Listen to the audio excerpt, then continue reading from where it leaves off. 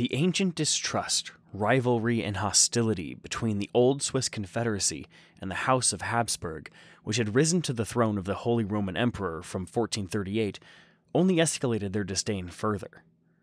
Since the late 13th century, the members of the Swiss Confederacy had gradually taken control of territories that once had belonged to the Habsburg realm and were ever so slowly doing more and more damage to the Holy Roman Empire, which garnered a rather large amount of attention. The Swiss had also succeeded in defending their privileged status on multiple occasions against Habsburg dukes who had tried to regain their former territory, and were not afraid to do so again. Moving on to the 15th century, and with Swiss power radiating outwards from the heart of Western Europe, following the defeat of Burgundy during the Burgundian Wars, many find it a curiosity that the old Swiss Confederation did not join the ranks of the emerging European powers. In truth, the old Swiss Confederacy still lacked a coherent voice in matters of foreign affairs unless threatened by foreign influence.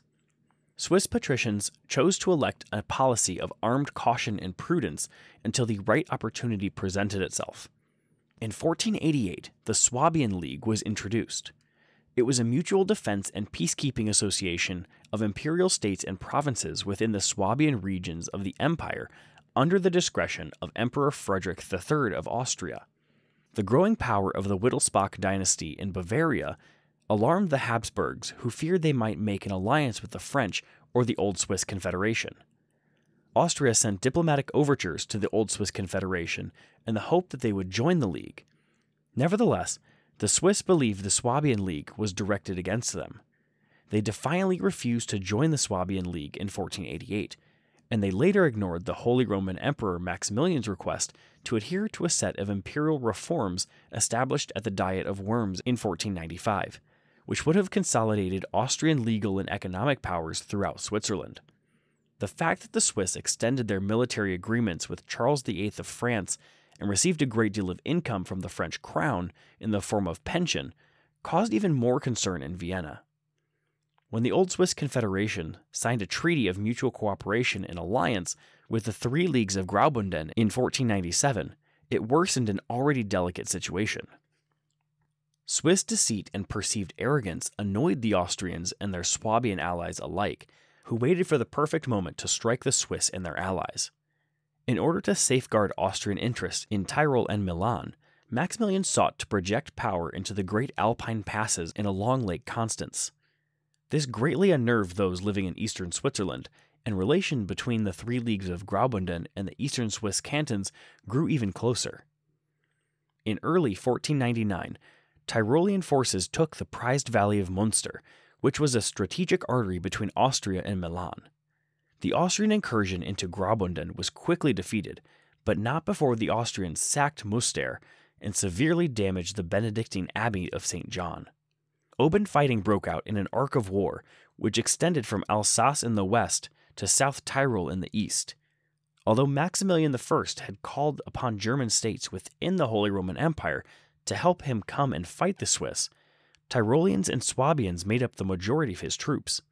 Maximilian I faced difficulties in assembling and paying his troops, which made a unified war effort against the Old Swiss Confederation an extraordinarily difficult and costly endeavor. Swiss raids far into imperial and Swabian territories provided plenty of plunder and capital to satisfy Swiss soldiers, and after Bern's initial reluctance to participate in the war, all 10 Swiss cantons fielded men who fought together alongside soldiers from the three leagues. France's new king, Louis XII, ever eager to prevent German unity within the Holy Roman Empire, provided critical funds to the Swiss. The Swiss won six major victories in rapid succession Hard, Bruderholz, Schwaderloh, Frastanz, Calven, and Dornach the Swiss believed they could win the war by resisting enemy attack upon the Swiss Mittelland. They maintained strategic communication lines with scouts in Jura and along the Rhine River, which kept them well informed of Swabian and Austrian movements. Swiss fortitude and resourcefulness won international praise even from the Austrians and Swabians, but the ferocity of the fighting led to untold losses on both sides. One estimate puts that 200 villages were burned and 20,000 people were killed on both sides of the Rhine River in the first six months of 1499. tens of thousands of civilians died, many because of starvation, and Switzerland, Swabia, and Tyrol swelled with refugees. Plague broke out in the regions most ravaged by the war, adding to the already staggering losses. Following the Battle of Dornach, Maximilian I realized his attempts to subdue the Swiss were doomed to failure. After seven months of intense warfare along the borders, the Austrians and Swabians were exhausted and low on arms. Swiss resistance had won the war, but the Swiss too were ready to negotiate a peace treaty. The Treaty of Basel, signed on September 22, 1499, absolved the Swiss from imperial jurisdiction and taxes from Austria. The Swabian War of 1499 was to be the last major armed conflict between Switzerland and Austria.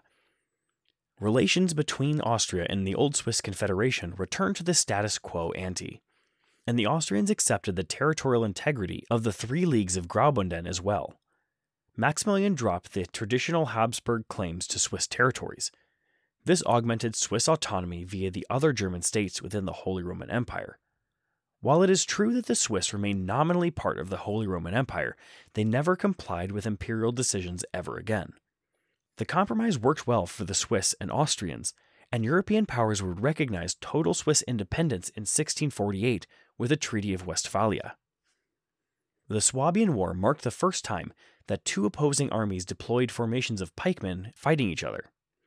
The end result was savage, and it was a sign of things to come in the upcoming Italian Wars during 1494 to 1559. The Swabian League remained an active political force only until 1534, when its members became divided over the Protestant Reformation.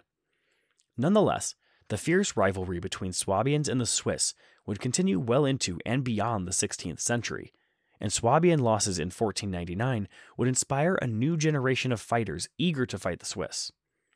Fortune's wheel spun in a new direction the Swabian forces would fight and prevail against the Swiss at the Battle of Marignano, the Battle of Bicocca, and the Battle of Pavia. Unknown to many is the fact that the Swabian War marked a major shift in the history of artillery. Under the command of Maximilian I, Austria would make significant advancements in unified caliber and barrel length during the war. Artillery thus became more accurate and able to cover greater distances, making war a deadlier prospect to Swiss mercenaries wielding pikes and halberds on the battlefields of Europe. These technological innovations marked the beginning of the end of the Swiss pikeman's heyday. Thank you for watching this Everything History video. We hope you enjoyed the video, or at least learned a thing or two. What do you make of the Swabian War, and what would you like to see next on the channel? Let us know in the comments below.